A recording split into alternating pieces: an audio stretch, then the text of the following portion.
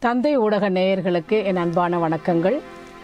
என்னுடைய கவிதையின் தலைப்பு மலைப்பொழிவு. சிந்தையை சீர்தூக்கி மனதை மாசு நீக்கி நல்லதை நாளும் நினைத்து வல்லதை பெற்றிடவே புதியதை வரவேற்போம். கோலத்தை சாயமிட்டு மாதத்தை வரவேற்க காலத்தை பாராது விழித்த தை திகைக்கின்றாள் விந்தை எதுவெனவென்று. பழையன கழிதலும் புதியன புகுதலும் நலமேயாம்.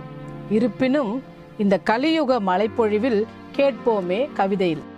எளிமையுள்ளோர் பேறு பெற்றார் என்றார் இறைவன்.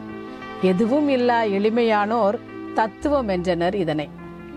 துயருவோர் பேறு பெற்றார் என்றார் இறைவன்.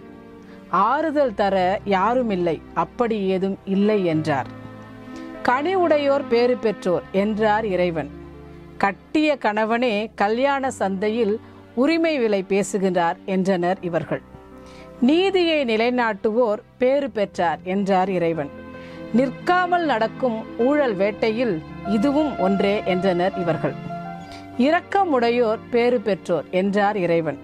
இரக்கமுள்ளவர் இளிச்சவாயாக கருதப்படுவார் என்றார் இவர்கள். தூய உள்ளத்தினர் பேறு பெற்றோர் என்றார் இறைவன்.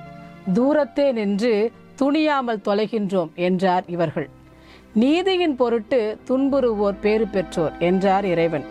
விண்ணரசு வேண்டாம் இன்றெமக்கு விடியல் அரசு போதும் என்றனர் இவர்கள். மகிழ்ந்து பேருவகை கொள்ளுங்கள் விண்ணுலகில் கைமாறு கிடைக்கும்.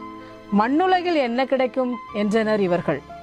இமைக்கும் நொடி பொழுதில் ஆயிரம் கோடி பொறாமை களவு சூது இவை இல்லாது அமைதி காத்திடுவோம் பெற்றிடுவோம் பெரும் பேறு நன்றி வணக்கம்.